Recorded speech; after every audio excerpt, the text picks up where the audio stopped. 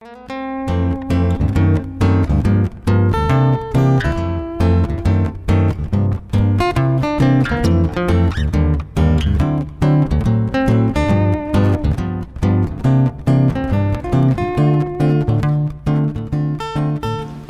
off today with having Buzz, or Larrie, present some, we don't know what we're doing. Anyway, we're gonna go back and forth between Buzz and Larrie. And we are having, they're gonna tag team this. Thank you. We've got um, three things we're going to show you today. Or three and a half. Okay. Basically, uh, I won't mention Eric's name, but Eric brought these over. He said, I've got these in the garage. Anybody want them? And um, a light bulb, actually a spotlight went off over Rob's head. And he says, we can we can uh, make something with those. And Larrie, you and Buzz can have a Saturday morning. So that's where we are. No, I didn't, I didn't say that. I just said we should do this as a class. And then I sat down and did stuff on the computer while they got it all prepped and did it. So we've got two sizes. This is a standard size. And this is a larger one. And all the boxes we're making today are based on these two sizes. And since I'm gonna do a presentation, you wanna write these on the wall? Use the dry mark board. The small one's three and, uh, three and a sixteenth by four. And the large one's five and a sixteen by six. So all the boxes we're making are based on that opening. The first box we made is nothing but a little miter box. Start off with a long board. The, the sides on this box vary, so you can, you can make the box any size you want as long as the opening when you finish is three and a sixteenth by four. So what we did here, took a piece of cherry, chopped it up on a chop saw so all the pieces are exactly the same dimension. I mean, exactly the same dimension. Sides, long end. Carry it over to the table saw. Set this to exactly 45 degrees, not 45.1 or 44.9, 45. And we used a um, Wexler we see. Wixey gauge. Put this right here on your table saw. You know this is supposed to be seven inches. Set that at seven inches. Run it through the table saw. Flip it over, run it through the table saw. And that puts a really nice miter on all sides equal. Then we run it through a router, put a round over on it, run it through a router and put a um, slot in it, which is also called a dado. But I was trying to think of something. Okay. This is half my words, so I figured I'd help. And then we cut a quarter inch piece of wood out of the same type. On the router, we set that up and put a slot in it. And what's the slot for? We're making a bank, so I guess the slot's for coins and money. And then we assemble it.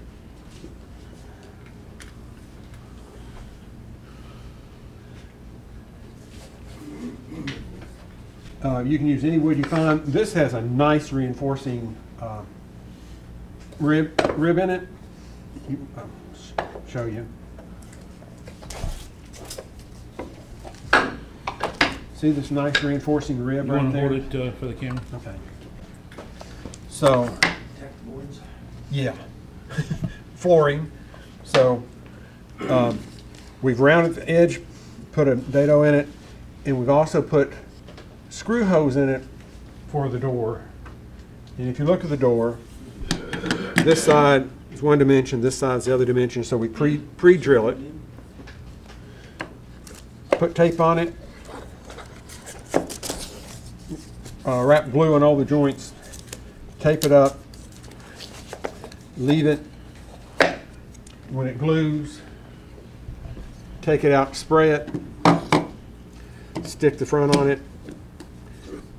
And if you put it on right, you've got a bank. Where's the screw holes? The, the screws go through the sides here. There's none in the wood. I beg your pardon. Or there? Catch, Yeah, there are. You catch. see them from the inside, not the Um, inside. We don't have any peanuts today, gallery. Okay. So, and you simply push it in. There's a screw hose here, pre-drilled, because it's awful hard to drill a hole in a small confined area like that. And that's the first bank. And next week, I'll bring these in assembled and painted and sprayed, yes. Okay. Larrie, while you got that there, could you show them the slot in the back where you put the thing in there? Okay, This slot was done simply on a router with a 3 8 inch bit. Set up blocks on both sides of the router, have the fence here, put it down on the bit, slide it over, pick it up, and you got a slot. these are mainly just for people to put not real valuable stuff in. But that slot helped us out when we had one of these things that we had, forgot the combination for. I haven't gotten there yet. Okay, So that's a very simple miter box. We've got some others that we've done. And the miters, if everything's the right dimension and the blade's at 45, the miters on this box line up really nice.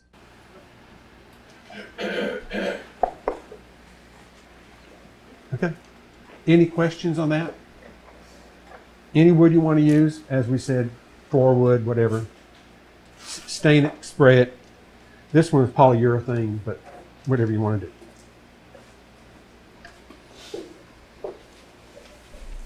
So the next step, we thought um, we had someone come in and says, you know, my wife's got a, a bank made out of a post office box door.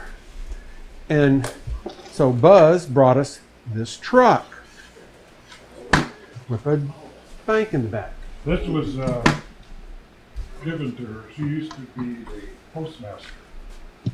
I know this because she goes postal on me and taking the paper. But Um, Somebody, gave- they gave her this as a, So we thought that was a great idea. We went out on the web, looked at some trucks by different people make plans, uh, ordered a set of plans, really nice looking trucks. They were very detailed. And when we went to um, assemble it, we didn't meet the criteria. Three and a half by four. The back of the trucks we had ordered were only three. So the doors wouldn't fit. So we went back to Buzz's original, and Buzz is going to tell you today how he just reproduced that truck.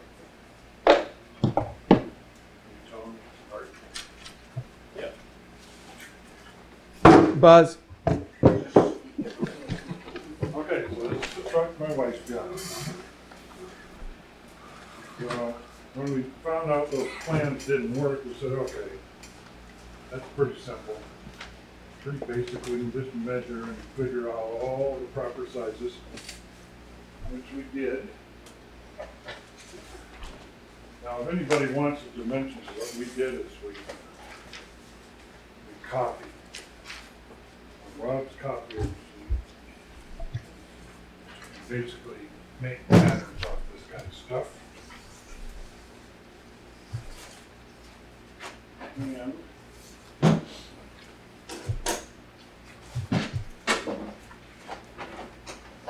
cut all pieces out. Where'd you like this?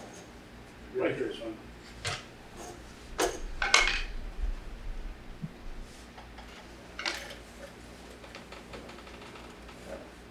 Kind of partially that.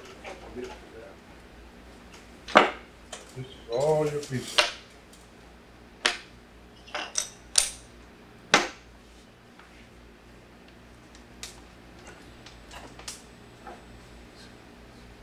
You guys that are scroll stars gonna laugh at me and Larrie. We're used to it. Because we got to the to the fenders right here. And then we decided we'd get tricky. You know how Larrie and fire is. So, Without much explaining. Probably used a router, it took, took two days to make a template. pretty much. Run, run the ball. No, not a router. So we came, you know, I measured this and got that compass out and all that, drew this pattern right here. On MDF. Then we were saying, well, how are we gonna do that? Then we got, and Rob was laughing at us the whole time. So we got the Force. Uh, Forstner bit, we decided we were gonna cut this thing. First we did the outside, we traced around that, cut it on the bounce bandsaw, used the pattern router bit, got that. And then we decided to use Forstner bit to cut the inside. Now that sort of kind of worked, not really. Part of it was the wood. This is cherry, I believe. But we actually did get a couple of fenders after trying that. But basically, it finally came down to, okay, let's go use the the pattern cutting bit to do the outside, and then I'll actually scroll scroll saw that a little bit because I'm a scroll saw. Two hours later. Yeah, two hours later. So we, you know, we used the, the orbital sander, you know, rounded off, and we came up with these pretty fenders. Which actually I like better than what they did here. But I digress. So here's all the parts. We'll credit Tom with this fine bench here. Because this, this actual truck, if you look at it, looks like they used some corner molding and a piece of wood, but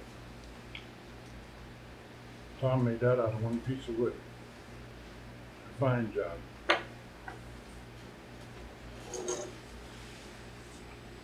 This was part of my pattern too for this whole situation. The outside, the inside.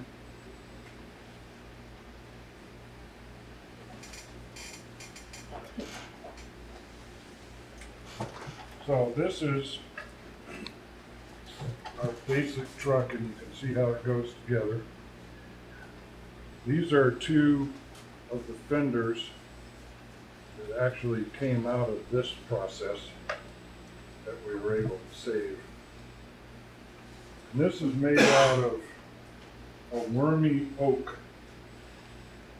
You see all the little holes in it. Kind of like it, we think of it as a, uh, you know, the Brinks truck that got in a gun barrel or something. So that's why we use that. There's not a lot of wood here you're using. It's all resawn to be five sixteenths of an inch thick. The, uh, door slash window here, of course, I had to use. I know, scroll saws, go ahead, laugh, I don't care. But we use this. So I could just go scroll saw out real roughly and then use the pattern cutter to get that nice window. But if you look at this original truck, whoever made this, it wasn't me, that's pretty thin. Yeah. The end grain, so it wouldn't take much to break that. So when we made ours, we actually moved that back a little strength.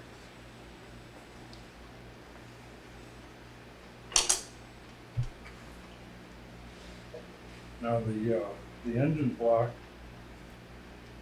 made two and three quarters by two and three quarters. Run it through the saw, get that forty-five. And when it's done,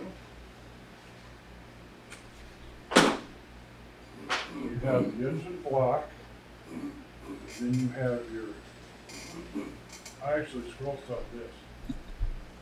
I did scroll saw, thank you, thank you very much. And then Larrie had Crooked. his And then laser laser cut.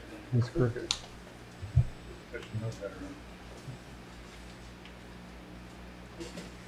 Eric Winnie. Yeah. Would you misspell my last name? We're gonna give this to Is it Larrie, misspelled? one of these That's what trucks told donating all the doors. Is his last name Spell my misspelled? first name. So we just rounded up a few You saying we things. give you one right? These, uh, No no K in my name as far as I know, and, and. Well, it's not yours. I'll take it. It's not yours, it's for another guy I know. Okay, good. Shoot. I mean, we're different. okay, is everything done now? Anyway. These are some parts, you know, we found in the Rob's miscellaneous parts store. Some kind of a, a head that goes on a dowel, so we filled it in, sanded off one side, and those become your headlights. And then your grill glues onto the front of this block. And that's gonna go, I, I didn't make as fancy a steering wheel as it's on this truck. we ran out of time, but we know how to do that. And that block sits in there. Then you have bumpers, They were screw saw. a lot of, yeah, actually, no, Tom did this, I don't know how he did. He's Between scroll saw and, or band saw and a sander. Make two bumpers. Go right there. Front and back.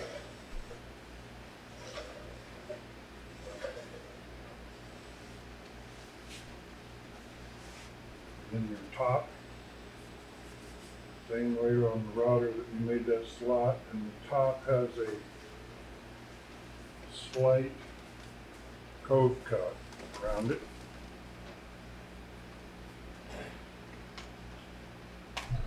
Now the truck, when you put it together, you got a little spreader bar up here, a little spreader bar back here by the door, and your hinge. This is the inner wall. So this is the, this is where your compartment is. And that's where all the big bucks are at. So if you glue that in, these two spreaders. Also, one thing I'll mention before I forget, the way they built this truck, they put a old rabbet in right there. On the two sides. Why they did that, I don't know. Can, can you get that, Jack? You can see this round part shows up right there, to the fender. So, clamp that all together. And that center wall and these two spreaders will kind of hold that. And the top goes on right here. Now, we just did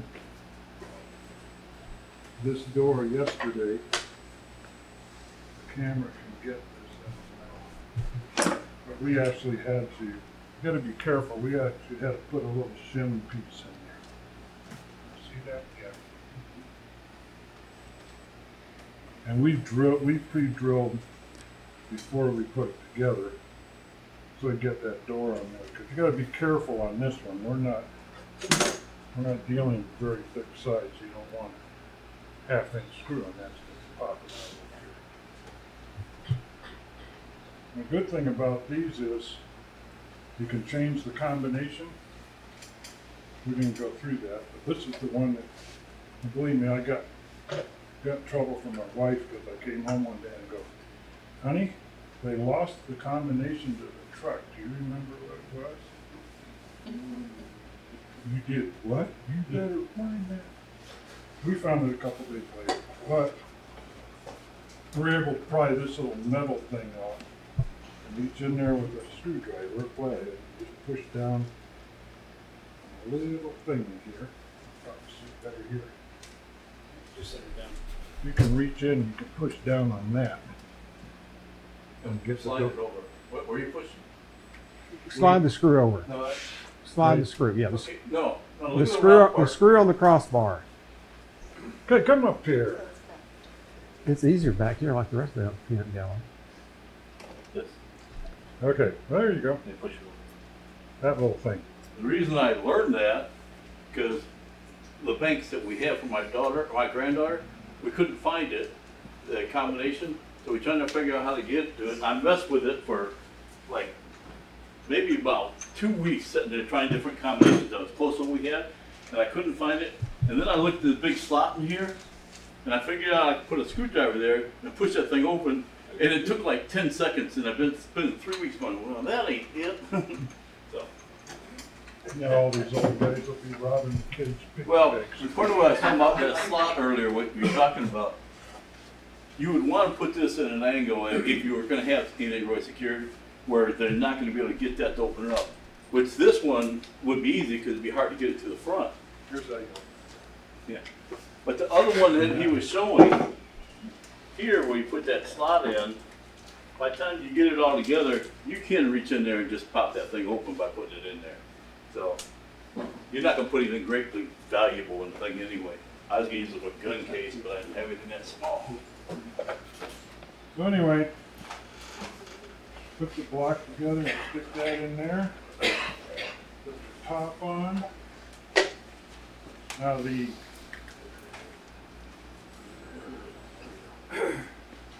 these are your wheels.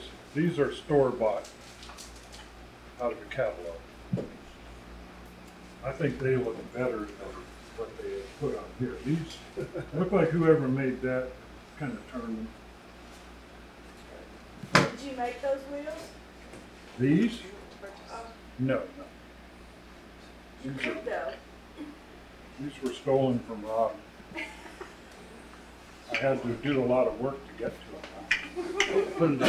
Had to move a bunch of plywood.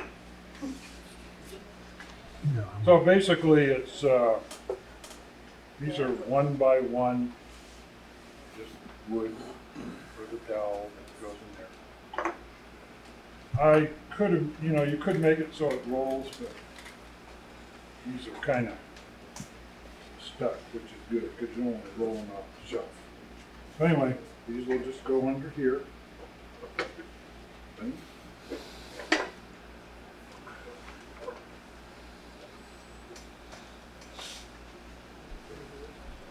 you go.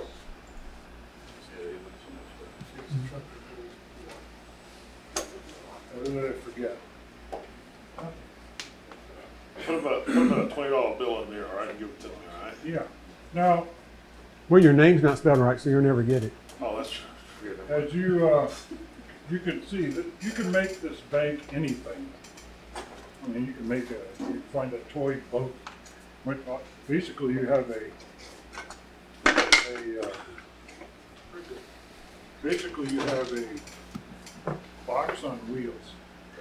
Uh, I also looked for armor car plans. I thought that'd make a nice bank. Uh, again, they were all too small for the opening. When you look at plans, they give you the plans, but they don't give you any real dimensions because they want you to buy them, right? So you think it's going to be big enough, and then find out it's not. You can go to Bob's, Bob could probably take that to SketchUp and change it to any size you want. Well, we, we could have done that. And when you look at the plans like he's talking about, it, the plans they give you description is big enough. It's, the, the back is a certain size, but it's not big enough to insert that in the back. You know, the whole side was. We'd have to take the, we'd have to scale it up, take the plans and add twenty percent to everything. We could have done that, but By that time, we're- the car would have gotten a little big, I thought. You ready? We did say with the JPEG file, so if you want that further get to the copy you can do that. And you can enlarge the JPEG to whatever size you want. Just do the same amount each sheet. By the way, you can buy those, uh, those are old post office box doors, back when the post office had the little individual slots. Uh, they don't make those anymore, I think they're yesterday's technology, but, uh, you can still buy them on eBay and stuff like that, but they're getting pricey. A lot of post offices still use Do those. they? A lot of Okay, I'm copies sorry, going, think they're I, I haven't seen them in a long time, A little town. maybe little towns, Evan Monroe. I don't live in a little Lawrenceville's town. got them. Who? Lawrenceville's. Well, Lawrenceville's a little town. While he's cleaning up, the next box we're going to build, Wait a minute, one more thing. I'm sorry. The good thing about these is, I mean, you don't find it in Atlanta. If you wanna get with Rob, he can show you how. You can change the combination of these. Cause it's all about this little wheel right here, lining up. You can, you can adjust the combination. So that way, Just remember what you these is- These are letters. Don't have all the letters of the alphabet, you've got quite a few. So you can make it for dummies like me, to do my initials or something. That's how you open. It's kind of a hard process. I mean, changing it's not that hard, but to get the to line up to the right letters. Because you don't just have A, B, C, it's A, then A, B, and then B, B. Yeah. So you have half letters between each one. that little star. So the combination could be between two letters. But, so my wife knows, her combination is DIG, D-I-G. Where does she keep that in the house again? She doesn't put money in it. It has a certificate inside that one saying it's an official post office box, so that- it's a, it's a decoration. Now, Rob's kids all have this, and Emily brought hers over, and before I could get to it, she took, took it back, but it had eighty-five dollars in it. So, She had no idea how much money was in it because she couldn't get into it for years. We made seven of those as a Christmas present for the grandkids years ago. So this box was actually made by Rob and Bob several years ago, and we decided to duplicate duplicate it and show you how that box is made. And in the process of making this box, the big item on that box, of course, is to make sure that we have a a dimension that meets our criteria, three and sixteenth by four or greater. So that's what the faceplate is. And then it's a it's 10 by 7, which is almost your golden triangle, or golden triangle. And top. It's 10, um, no, it's, I'm sorry, it's 6 by 7. So I jumped into this to make box joints. Now we've had discussion on box joint jigs and how to do box joints. And for the you that don't know, like maybe nobody, here is an example of a box joint. Now, you can, you can go out commercially and buy a setup for making a box joint, or you can get industrious and make your own. And the, my box? Here photography department. Okay. Um, so here is a box joint jig made by one of our engineers who sometimes overthink things like me. It may not fit in that saw. It doesn't, but that's all right. slot's different between this and Every saw in the world is different slots, but basically it's a, a place to put the the wood against this frame here. It's got a reference piece of metal here. Can you see any of this, Jack?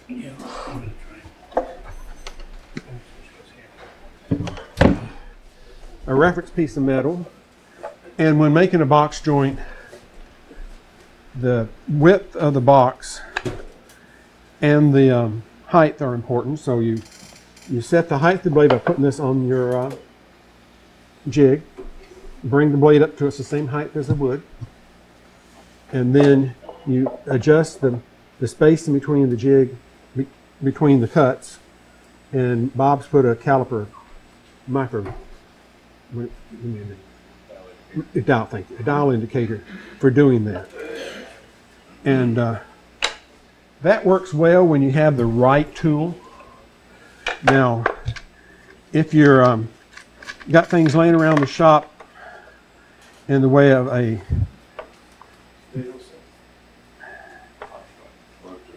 box joint set, That's, okay, that's what we talked about. but um, in this case, this is a dado set. And that dado set will make a quarter inch cut, but the problem with it seriously is the the blades are too far, too few, too far apart, and this piece here has to be really nice, or you get tear out on the back, and then the box joints don't go together. So I uh, played with that one and made some joints, and they were a little, they were a little loose. You can see in this, you can see in this joint, the gap between the, the fingers is, is not right. Also, the height's not right, so I practiced and the one that's coming around pretty much was with this one, but um, Bob had a nice box joint cutting set that he had loaned to a friend. So for two days, the friend says, I gave it back. And Bob says, I've torn my house up. I don't have it. And the friend says, No, I gave it back. So yesterday, we were looking for an extension cord in his closet. He tripped over something. He said, What, Marcus, what was that? And looked down, and it's a box joint set. We should use that first. So, I, since I found it yesterday, I went home, put this on the saw, and when you put the blades on this way, you get a um, 5 eighths inch cut. And if you put them face to face, it's a quarter inch cut. Did I say 5 eighths? I have dyslexia. It eighths. Says 5 eighths. 5 eighths. 5 eighths. 5 eighths, right? Um, eighths It's three eighths. It's a three. I got you. I got you. So it, We're doing a deal that thick. so we did. I used it as a three eighths tool. Mount on the saw. This would work nice. It was already set up for the quarter. I decided to go with three eighths because three eighths is a lot quicker when you're cutting uh, box joints. So here's one that I cut with quarter inch cuts. And you can see they came out, Nice. it came out pretty tight. Put it, put it. I'm gonna pass it around. Yeah, but the camera can't catch it anyway. This is nice and tight. This was a test. And if you look on the front of this, you'll see a pattern. That's because I'm cutting lots of these, and that pattern was set up so we meet our criteria, and this door will go in there. And I'm making several boxes, so a pattern made it much easier than having to try and scroll saw all those exactly alike. So pass that around, and that's pretty tight. That's so tight, in fact, that um, glue won't go in it. Since this box is six and a half, the finger joints on this one came out perfect. I didn't have to run it through the table saw and sheet and cut off the little fingers, so this one came out fine. Now, since Bob had done so much work here and set this up for a quarter inch, and I decided to go with a larger one, I had this tool that I saw the demo on four years ago, bought it, and now, after four, a week, figured out how it works. And I'm sure you've seen these before. It's basically just a iBox jig. And it worked very easily. Just put your, adjust the size, put it in, run it through the table saw. The downside of this is it is spitting dust out in your face like you would not believe out the back of this. So I had to come up with an attachment on the saw to um, catch the dust. I have a picture. I'll have that picture of that up on the web. But cut those joints on this. Made this box the dimensions to be there. And since this box has a, um, the plan is on this end, the short end, we'll put the little door. And then on the wide end, we'll put the big door, One or the other. one or the other. Um, I'll pass this around so you can see it. We um, took the top, put a rabbet around the outside, um, a Bugs Bunny.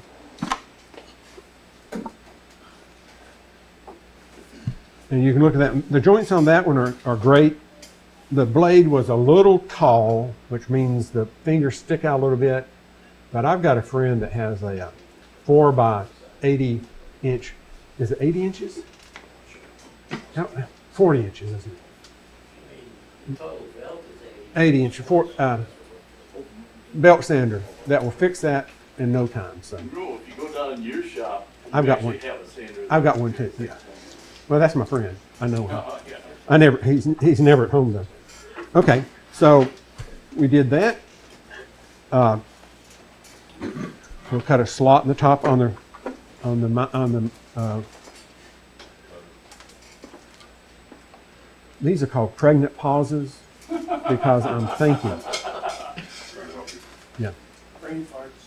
No, they're they're thinking pauses. Edit that out. so cut on the router. And between the two, I also someone a couple weeks ago on jigs and fixtures showed a uh, homemade um, tool he made. That was you, which would have worked just fine. Once you set the tool up and got it right, don't don't adjust anything. You're there forever.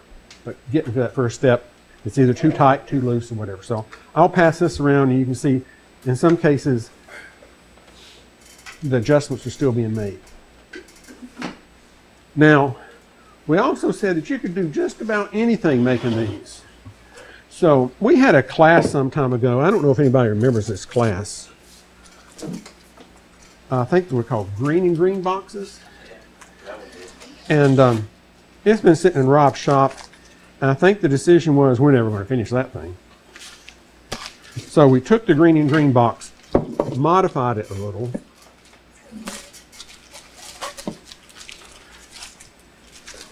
We'll clean it up and we'll take this and make it a post office box. We'll put this right there with a slot on the top. That one will hold it done. So I'll, I'll pass that around. How do you get it to the slots? Not real big. But yeah, that's just an example of um, any box we can use. So that's pretty much it. Any questions? That's Greene and Greene. It had a really nice top on it. We whacked it down a three quarters of an inch around. It would look gorgeous if we actually finished it, but after we did a bunch of them, we want nothing to do with it. I was just happy to get it out of the shop. Hey Larrie, Yes, sir. so you can make, obviously you can make uh, finger joints, box joints, whatever, in different uh, widths. Do you make a separate uh, fixture for each one, Uh, for each width? on this fixture, um, do you have a do you have a separate uh, gauge here? This is set up for quarter inch, right, Bob? This is set up for quarter inch. I believe so. Uh, on the demo on this one, this adjusts any width you want automatically. On your fixture, you, On mine, the backing plate, which is serving, uh, Here. against the fence, yeah. I have spacers glued on. Oh, you want the other ones? I grabbed that. So So you- wanted you to can- make multiples. your There's a spacer that width that moves it over. yeah, to you, the you next line. change the space that Four to three and five. that changes from here to here. So you actually swap up your back plate Yeah. itself. Now, Second official plate. Right, Word- that's what I I'm thought looking for, did. yeah. in all cases, you need to make sure that the um, the board is flat against the bottom. Otherwise, if it shifts this way or that, it's going to um, give you bad fingers. Tip it to the camera that way, take the slide out, tip, tip it that way so we can see the slide, no, so an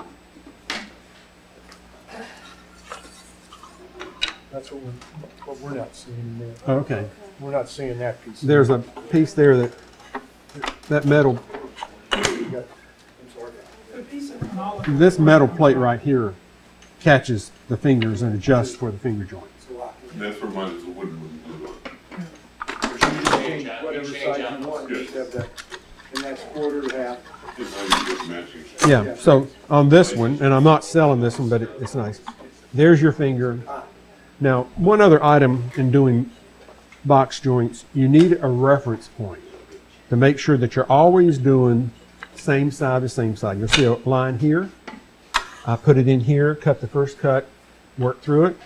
Then I turn it over and put it up against there with the same line on this. That separates your, your finger joints. And then you simply cut that one, next one, next one, next one. So when you finish, they line up. I say they line up. Yeah. Yeah. So that they line up, So you put one, one, two, two, three, three, four, four. of course. And if you look at the, the box, uh, all the grain matches around the box. Well, all the wood we're using here, all the wood we're using here is half inch. You, okay. You need to make sure all your wood's planed to the same thickness. Make sure all your wood's the same width. They have to have matching pieces. So actually this was cut out of one long board and, and done that way because vari- variations in thickness messed up your, your joints. Variation in height